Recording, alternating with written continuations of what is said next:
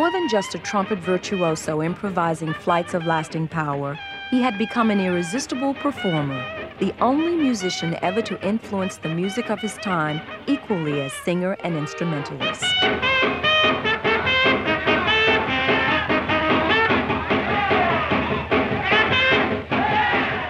Oh, well, his singing was wonderful.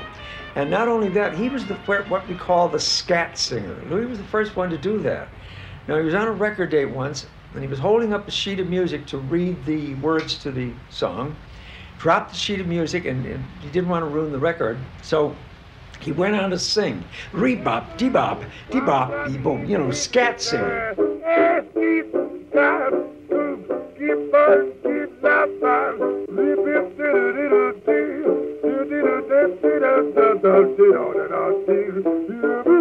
But one tune there that heebie jeebies where I used to drop the paper. Yeah. Start scatting because we used to do that in the quartets in New Orleans. You know, sound like an instrument or something. Louis Armstrong singing and scatting was something new to Chicago, the people in the public in Chicago. But that's an old New Orleans way of uh, entertaining that was done in New Orleans way before. I imagine Louis was doing that in Chicago. I mean, in New Orleans, because that's really New Orleans way of uh, singing, scatting, and, and, and, they're still doing that down there. And well, this was sort of new. Well, Louis was was uh, was a creating. He was a, he was creating so much. His beginnings could not have been less promising.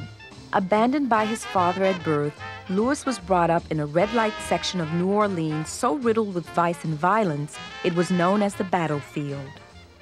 All that remains of Jane Alley today is a tree, protected by a brick wall around which the modern city of New Orleans has sprung up. He always insisted he was a child of the American century, born July 4, 1900. In truth, he was born August 4, 1901, as shown by the baptismal registry of the Sacred Heart of Jesus Church. His mother, May Ann, was devoted to Louis and to his younger sister, Beatrice. Occasionally, May Ann took her children out of New Orleans to the sugarcane fields of Boutte, 70 miles west of the city, where her family had once worked on the plantations and where they enjoyed a sense of community that would stand Louis in good stead for the rest of his life, as Armstrong later recalled. One thing about May Ann, everybody from the church folks to the lowest gave her the greatest respect. She never envied no one or anything they might have. I guess I inherited that part of life from May Ann. All his life, Armstrong would write, talk, and sing about the joys and horrors of growing up in New Orleans. You hear those badgers ringing the darkest sing, oh, and it's brand still break of day. Chief goes Southland with a dream is on. Take me back where I belong. Right in my mammy's arms, when it's sleepy time down down. Louis was reduced to stealing from produce barrels to help put food on the table. His future seemed circumscribed from birth by racism and poverty. But even as a small boy, his irrepressible personality made him friends. A neighboring Jewish family put him to work with their sons, selling coal to the prostitutes in Storyville. They brought him home for dinner and taught him to sing lullabies from the heart. And they enabled him to buy his first cornet. He taught himself the blues, but he hungered for lessons. It either was a New Year's or a Christmas one everybody was was shooting firecrackers. Louis got a got a gun and, and shot. and instead of lighting the firecracker, Louis pow pow pow pow. and so they put him in at home. When he got in there, they had a music teacher in there. That's where Louis learned how to play the trumpet. The Colored Waif's home was founded by legendary Southern educator Captain Joseph Jones. Its music professor soon recognized a prodigious talent in young Louis. There was a teacher there by the name of Mr. Peter Davis. It was for a long time before he'd even look at me, you know what I mean? Because from the neighborhood I came yeah. from, he figured I was one of them bad boys too, you see? Mm -hmm. So anyhow, one day Mr. Peter Davis come and he made me the bugler mm-hmm. of the institution. And he showed me how to blow the bugle and uh, watching Joe lift the horn and different things. And, and I made all the calls. And when I got out, I went right into Joe Oliver. So quite naturally, he was in my life. I used to run errands for his wife, Miss mm-hmm. Stella Oliver, and Joe would give me lessons, and I was always there when she gave me his red beans and rice. I think the reason that Louis Armstrong really loved New Orleans is that when he was growing up in New Orleans, it afforded him all of the the experiences that one could want if you were going to be an artist. He could come in contact with people from all walks of life and have an exchange with them. And then there was opera in New Orleans and, and a hierarchy of older musicians who looked out for the younger musicians and made sure that they would practice. In 1918, 17 year old Louis began to claim he was a year older. That was the year King Oliver left for Chicago, and Louis was chosen to replace him in the city's hottest band. He played in the talks, in street parades, and at picnics at the posh lakeside resort known as the West End. He also married a prostitute and legally adopted a retarded cousin he would take care of all his life.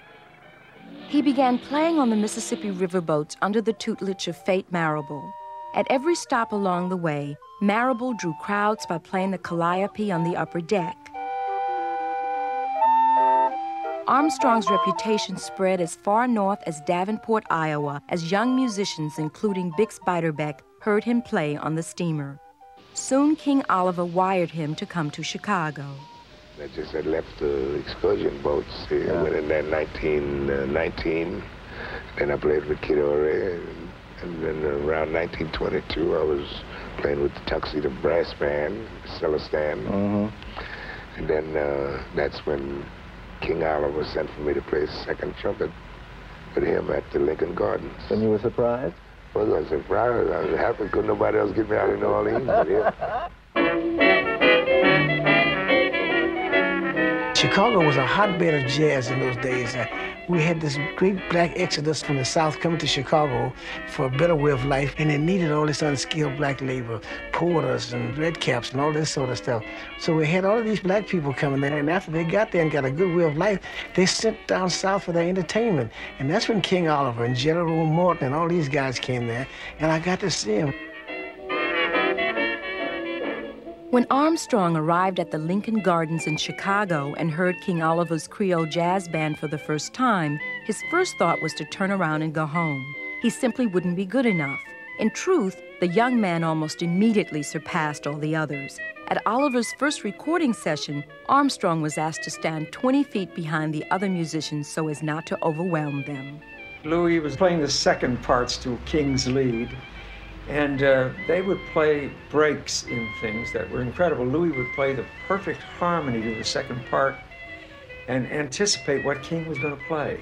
And then King would put a handkerchief over his right playing hand to see if he could fool uh, the great Louis. I put notes to his lead, whatever he made. Uh, I just, we didn't write it. Did you rehearse it? No, just no. for the moment. You, you tell me, you tell me while the band is playing what you gonna play on that. What is this? I pick out my notes. and that's why all the musicians used to come around to hear us do that. You know, so that was no secret we had.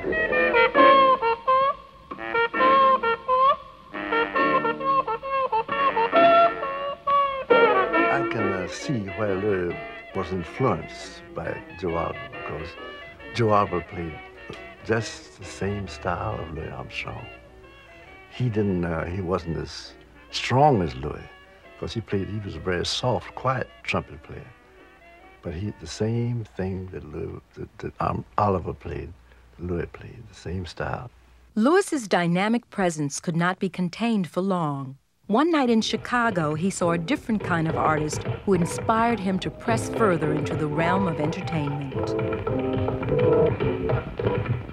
Bill Bojangles Robinson was the greatest. He didn't need blackface to be funny. He represented comedy plus danger in my race. He was immaculately dressed and funny, and the audience loved him. That's what counted. His material is what counted. Wow, I was sold on him ever since. While playing in Oliver's band, Louis fell in love with the group's pianist. Lil Hardin became the second Mrs. Armstrong. Lil was the belle of the Windy City at that time. Who was I to think that a big, high-powered chick like Lil Hardin, who came to Chicago from Memphis, right out of Fisk University, valedictorian of her class, would get stuck on me? I just couldn't conceive the idea. Lil convinced Louis to leave Oliver's band and take an offer from band leader Fletcher Henderson in New York.